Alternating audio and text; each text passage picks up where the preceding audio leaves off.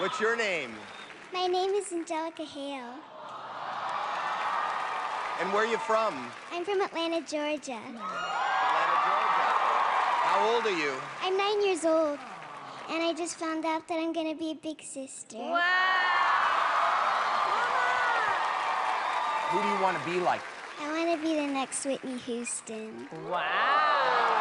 I want to be a superstar. Wow. And I'm so happy to be here because, like, I've been watching your show on YouTube, and now I feel like, like I'm in it, and I'm like so, like, awestruck. And not only are you in it, you're in it to, To win it. Yeah. Clever little girl. go ahead, Angelica.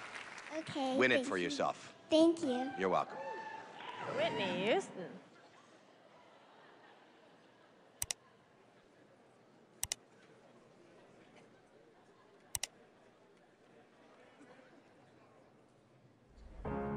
You're broken down and tired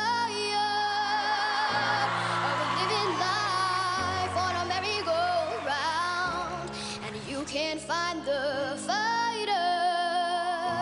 But I see it